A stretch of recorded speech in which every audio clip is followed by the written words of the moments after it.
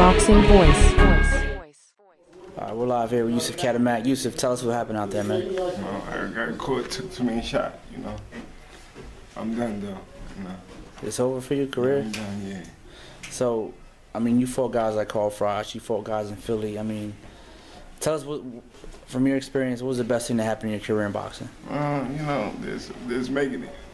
There's fighting, you know. Now, you think a guy like that in your prime wouldn't, wouldn't hang with you at all, right?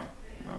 That's how I tell I'm done, like, Well, too many shots. obviously. I mean, tell your fans something, man, because people from Philly still support Kata. I mean, you know, you know, Joe Hands, I did my- Schulers. I I, mean, they, we know who Kata is. So, I had my time, I won my belts, you know, I'm done.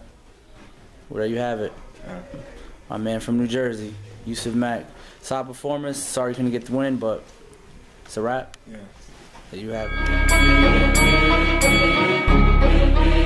The boxing voice.